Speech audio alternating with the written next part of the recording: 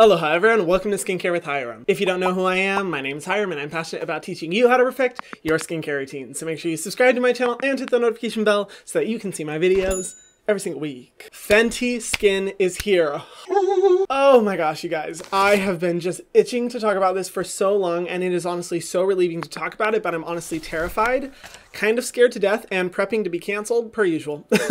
No, I'm kidding, but I have been pretty, pretty nervous. Let me just provide you with a little bit of backstory. Obviously, if you're here, Fenty Skin needs no introduction. Rihanna needs no introduction. Um, if you don't like Rihanna, please exit to the right. We don't want you here. I love Rihanna. I love her so, so, so, so, so much. It's not even funny. Actually, I was watching a few of her music videos the other day and I saw someone say that she's a part of the Illuminati. And I was like, honestly, if she's in the Illuminati, where do I sign up? Because I want to be there with her. She is just iconic, talented, talented brilliant, brilliant, incredible, incredible amazing. amazing. I just look up to her in so many ways. Not only was she an incredible musician, but she's managed to become an ultra successful entrepreneur. And being an entrepreneur myself, I find so much inspiration in how many companies she has launched and her attention to detail, inclusivity, marketing. She is just, she's perfect. I could just go on and on. And about a month ago, I was contacted by the Fenty Skin team asking to send me the products. Do y'all even know how many laps I ran around my living room? I got some good exercise, bitch. I was just over the moon, out of my mind excited. And I got all the products in the mail in a beautiful PR package and Every time I hold these, it's like holding the babe of Bethlehem. I mean, just pause, look at this packaging. Beautiful. Especially this one. God, I just, I can't get over it. And I just want to say thank you so much, Fenty Skin, for giving me this honor. Never in my life would I have imagined I would be selected to try out her new skincare line. Oh my God. Oh, it's just like an out of body experience. I'm still not over it. Okay, Harm, whew, continue your excitement. and now I will say, as much as I was excited, I was extremely nervous about receiving these products because you guys know I am all about ingredients and ingredients don't lie, bitch. I always say that on my channel. Ingredients are the standard for me, and if I don't like an ingredient list, there's just nothing I can do about it. And of course, because it's Rihanna, I have crazy high expectations. I mean, everyone does. I feel like everyone is attaching their crazy high skincare standards to this brand, and that is a lot to handle from Rihanna's side. So I can't even imagine the pressure she feels. I have so many thoughts the good, the bad, and the ugly. And I want to share all of them with you. If you aren't familiar with my Truth About videos, I like to talk about brands, go through the products and the ingredients, and then talk about the brand overall and let you know whether I think it's worth it or not. And just going into this, I want to say real quick, I know my thoughts really don't matter, but I am feeling a lot of pressure for this review because Rihanna, it's Fenty Beauty, it's Fenty Skin. They represent so much of what I absolutely love, but at the same time, I have my own personal skincare standards, things that I'm very picky about. You guys know this if you watch any of my videos. I don't mess around when it comes to my standards on skincare. So as I get into this, I hope you all can realize like my true intent. I'm so grateful for this opportunity for the brand to be sending me products, but I have to stick with my standards no matter what brand it is. You guys are smart. You know this video is reflective of my opinions and my opinions only. I don't feel like there's a need for every creator to be like, this is just my opinion because I'm like, yeah, bitch, I know. But I just want to state that as I get into this video, many people are going to disagree with me and that is okay. Rihanna's line is going to kill it. It's going to be so successful. It's going to explode on the market. What does my little opinion matter? But I know that a lot of you watching do have my same opinions when it comes to skincare. And being that Fenty did send me the products, I think it's important that I give my perspective on the products, the formulas, the ingredients, the price points, and more. If you don't agree with me or don't like my opinion, that is totally okay. That's the beauty of the skincare world. We all have different opinions. It's the way that we can help products and brands become better. And there are plenty of other creators who have made videos on this topic. And I just want to say real quick, thank you so much to the Fenty team. Over the course of the last six months, I've made an active effort to find more black skincare and beauty creators because we need more representation in the industry. And I noticed that the Fenty team reached out to a lot of small black creators that I have been following for a few months. And it just made me so happy to see these creators getting the recognition that they deserve because they honestly deserve so much support. And I'll be linking a bunch down below so that you can go watch their videos, you can go support them so that we can have more black representation in this community. But I just want to say personally, thank you so much to the Fenty team for considering that instead of, you know, just sending PR to the biggest creators.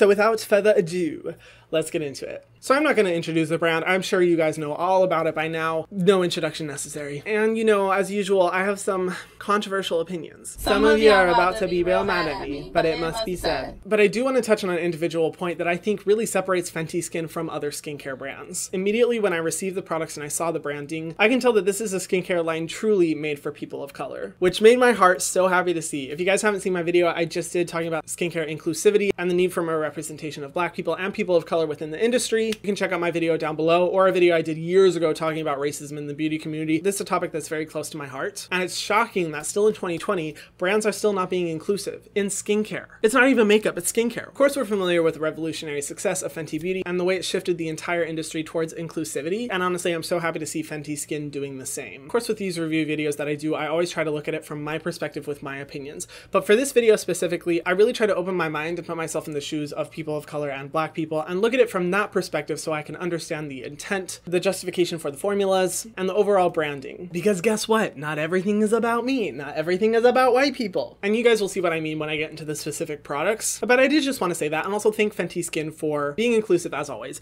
but specifically with the skincare content creators that they were reaching out to and partnering with. It just made my heart so happy to see that. All right, let's get into the products. Per usual, I'm going to be rating these from my least favorite and ending with my favorite, starting, uh, it hurts to say this, with the Hydra Vizor Invisible Moisturizer SPF 30 Sunscreen. Now let me explain before y'all attack me.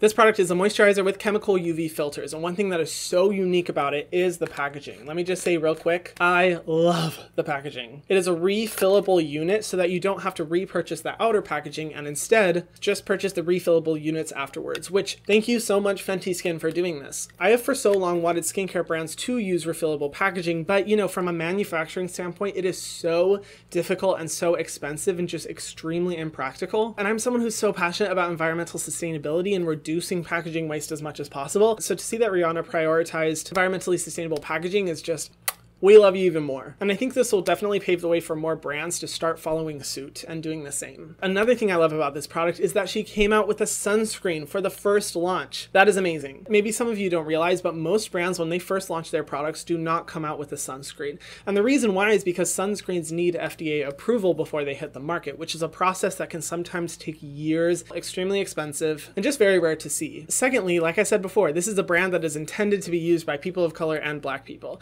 And it is so positively encouraging to me to see that sunscreen is being prioritized from the beginning. Unfortunately, for some reason, I don't know why, the industry has lied to people of color and black people and said that they don't need sunscreen, which pff, who said that? Who is spitting out those lies? Everyone needs sunscreen. This is a message that I'm constantly promoting on my channel. No matter what skin tone you have, sunscreen is absolutely necessary. Not just to protect from burning and redness, but also to protect from UVA, aging. 90% of premature aging is from sun exposure alone. So it is necessary that everyone is protecting their skin from the sun and even watching promotional videos for the brand, I'm so happy to see that Rihanna is promoting that message to her following. And I hope because of this, we can see more people with darker skin tones using sunscreen. Now, as far as ingredients I like, the second ingredient is glycerin, a great hydrating ingredient that works to pull moisture from the air into your skin, but also conditions and softens it. Safflower seed oil is the third ingredient, which is honestly amazing. It's an incredible ingredient for hydrating the skin. It's also a great antioxidant to protect from free radical damage, which is a type of ingredient that's important to have alongside a sunscreen because free radicals are rampant in pollution, sunlight, and really damage the skin and cause it to age more quickly. And being that it's the third ingredient is really impressive because that's a very high quality ingredient. And I've honestly seen some brands tout that as their miracle ingredient and charge a few hundred dollars for a product. No bueno. So to see Fenty use it at such a high concentration is really impressive to me. It is also formulated with niacinamide. Woo! My favorite ingredient of all time. When I saw one of the promotional videos and Rihanna talking about how she really wanted to use niacinamide in her formulas, I was like, oh you have my heart, Riri. I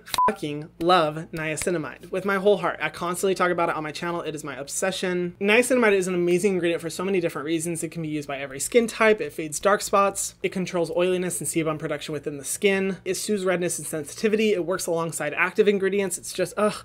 I could go on and on and on. And I was so happy to see that it is formulated in this. It's also formulated with hyaluronic acid, a humectant that draws in moisture from the air into your skin and hydrates it, as well as watermelon extract, a good antioxidant, and gluconolactone, which is a PHA that helps to mildly exfoliate the skin without the sensitivity that you see from other exfoliating ingredients like glycolic acid, lactic acid, and others. But for the ingredients I don't like, unfortunately, this is a chemical UV sunscreen. Now, if you aren't familiar with my channel, I've talked about how I don't like USA chemical UV filters for a few different reasons. I live here in Hawaii and I see the impact that sunscreen use has on coral reefs here locally. I've spoken to researchers and scientists who have specifically studied the toxicity of certain UV sunscreen filters on coral reefs, and I'll just say it is a very complicated topic. Not every UV filter is exactly the same. Some are more risky to coral reefs, some are less risky. The specific UV filters this has is avobenzone, homosalate, and octisalate. Now, I'm really grateful this sunscreen is not formulated with oxybenzone. That's the one that's most known for its toxicity to coral reefs. Now, due to my research and where I live, I have chosen to not use any USA chemical sunscreens because of the risk associated with them, and also because compared to mineral UV filters, chemical ones can be a lot more irritating to the skin, and because I'm always talking about skin sensitivity and making sure that you're using ingredients that are not going to overly sensitize your skin, I choose to avoid them altogether. That is just me. That is just my opinion, just my stance. Whenever I talk about it in the past, people get really upset because they think that I'm trying to say that you are evil if you use chemical sunscreens. How dare you? You're killing the earth. No, I'm not. Calm down. This is just my opinion and because of where I live and what I've seen. And yes, I choose to use non-nano mineral SPF sunscreens due to the skin benefits that they have and they're less likelihood to damage coral reefs. But here's the drawback.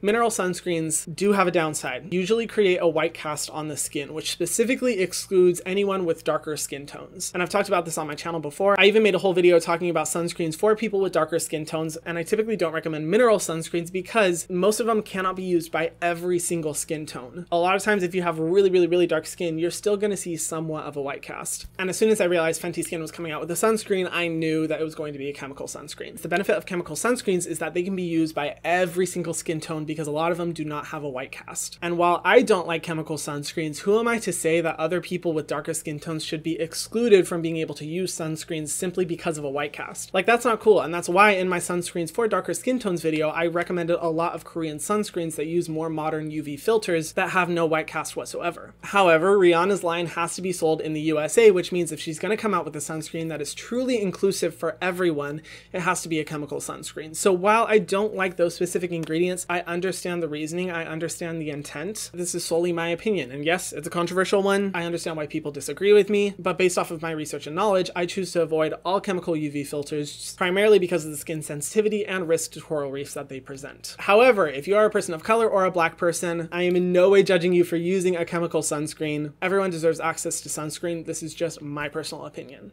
Oh my god, I have never had to say this is just my opinion so many times in my video, but I know I have to say it over and over and over again because people are gonna be coming for me. I just know it. The other thing I don't like about this product is that it is formulated with fragrance. No! Oh, it hurts my heart. When I got the product in my mail and I was opening the box, I was just thinking to myself, please no fragrance, please no fragrance, please no fragrance. And I splashed it on my skin, lifted it to my face, and I immediately smelled a shit ton of fragrance. Fenty Skin products are fragranced as fuck. This one, in my opinion, being the most fragranced of them all. Now, in addition to undisclosed fragrance, this is also formulated with citral, limonene, and linalool, all of which are fragrant components. Now, if you really aren't familiar with my channel, I am just not a fan of fragrance. Do I think fragrance is evil? It's bad? It is going to ruin your skin? No. I just feel that it's not necessary to a skincare routine, and whenever I see brands formulating their products with fragrance, I get frustrated because they're specifically excluding an entire customer base that would have had access to their products if they were fragrance I don't like fragrance specifically because it can be irritating to the skin. Now, every single ingredient in the world can be irritating to the skin. That's just the nature of skincare.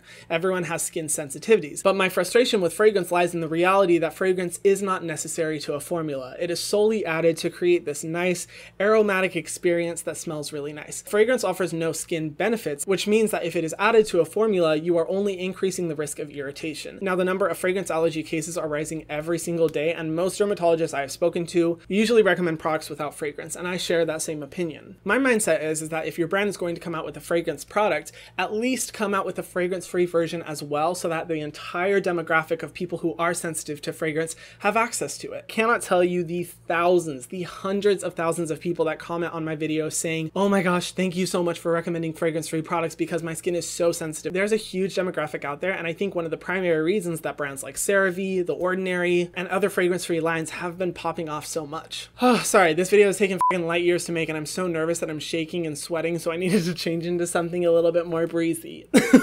Did I mention I was nervous? I understand the intent of fragrance is to create a nice aromatic experience, this luxury feeling. And I know a lot of people who watch my videos are going to be so sad that they can't use Fenty skincare products because of the fragrance that it's formulated with. Now, in one of the promotional videos, Rihanna was saying that all the products are formulated with less than 1% synthetic fragrance. And while that does sound nice, I will say there's not a lot of difference between synthetic fragrance and natural fragrance. A lot of companies, specifically within the clean beauty space, will lead you to believe that synthetic fragrance is evil and toxic toxic and damaging to the skin, but clean fragrance is okay. Clean fragrance being like essential oils, for example. But in reality, both of them are as irritating as each other, and there's really not a huge difference between the two. Both can irritate your skin. And immediately when I tried this product and the others, I was like, wow, I can definitely tell that fragrance is something that is very important to Rihanna. She wanted these products to smell. But I have to be honest, I don't like products that have fragrance in them. I actively avoid them on my channel where I can. And while I am okay with one or two products in my skincare routines having fragrance because it significantly lessens the risk of irritation, on my channel I really try to promote the fragrance-free message as I feel it's the most inclusive to a larger audience. Oh, do you see my hand? I'm literally like shaking because I'm so nervous talking about these topics because I know people are going to be so mad in the comments.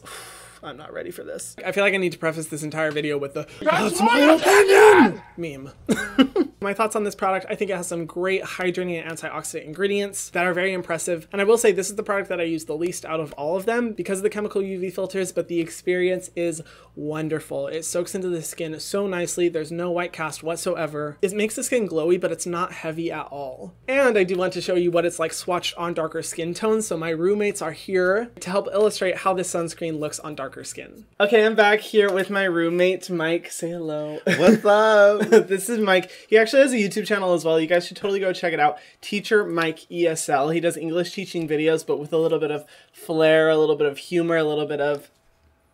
Lots of that. Lots of that. So I'm going to be swatching it on his skin. He hasn't tried this product before, but I'll also ask him to kind of describe the consistency, the feel, so that you guys can kind of get an idea of what it feels like on someone else besides me. Oh, it smells so good. But no, I just don't like fragrance. Oh, my bad. I do. It's okay. It's strong though, right? Like it's mild.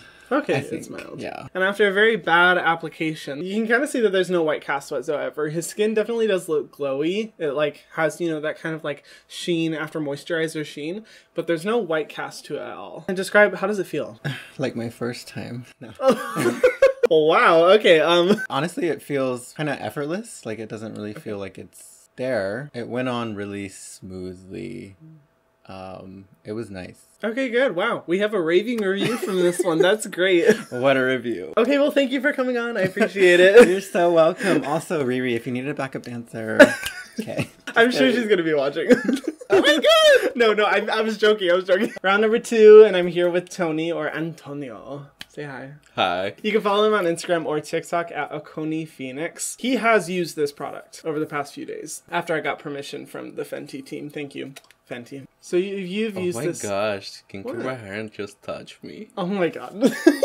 You've been able to use it over the past few days. What is your opinion? Um, I really like it. It's a really good sunscreen moisturizer. I try using other sunscreens. I'm not gonna say names, but they usually leave a really bad white cast. But this one is so nice. That goes to show that you were telling me like how you liked how lightweight it was, that it wasn't like a heavy consistency on the face. Yeah, and I like the smell. I mean, I personally don't have any issue with like fragrance because my skin is not very like sensitive I'm actually kind of like obsessed with it. I told him he could use the rest of the bottle after me, so. Thank you, Rena. You guys can see on his skin as well, like that there really isn't any white cast. Similar to Mike, it's just like a sheen that you have with any moisturizer. There's no white cast whatsoever. You can't see it across his skin, which of course is great considering they both have, you know, darker skin tones, at least way darker skin tones than me. And thank you so much for coming on my channel. I appreciate it. Oh. Thank you so much, Tony and Mike. They're great. They're awesome. I love them. The next product is the Fat Water Pore Refining Toner Serum. Whew, that's a mouthful. I will say the title is very true to the consistency. This is like a toner serum. Serums are great, but can be a little bit heavier on the skin, but toners are typically more watery and super lightweight. This is a nice in-between. Claims to refine the look of pores, brighten dark spots, and even out skin tone. And I have to say, oh my god, the coloring, the packaging. This one has a click top, so it's all in one component and just drips out. So, so cool. I love it. As for ingredients, I like the fourth ingredient is niacinamide. Woo woo! Coming through with that high concentration of niacinamide, I love to see it. Green tea extract, one of my favorite ingredients of all time for reducing redness and sensitivity in the skin and also for its potentially anti-aging properties. It has cactus flower extract, something that I don't usually see, a great soothing ingredient, as well as acerola fruit extract, which is a very strong antioxidant, a great source of vitamin C, beta carotene, and polysaccharides, which is going to be amazing not only for its antioxidant power, but for brightening the skin and preventing aging and damage. Honestly, as far as good ingredients though, this one is the most impressive product from the line. It has so many great antioxidants, which is truly what you want for a daytime serum to help prevent against the damage that we see every single day. These are just such cool ingredients that I never see in products, and one thing that I love to see from this brand. True innovation in the extent that they're reaching to find new beneficial ingredients for the skin. I also have to say, using this on my skin, I loved the consistency. It was very lightweight, soaked into the skin almost immediately, which is great for people who have oily skin like myself because I really struggle using treatments during the day that aren't going to make my forehead look like a grease factory. But the two things that I don't like about this product is that first, the second ingredient is witch hazel water. Now, if you don't know my opinion on witch hazel, I am not a fan of it because witch hazel is an astringent, and astringents operate by clearing off the excess oil and sebum from the face, which is why they're so much fun to use because immediately when you use them, you're like, wow, my skin looks so matte, it looks so even, there's no shininess, there's no greasiness, it looks great.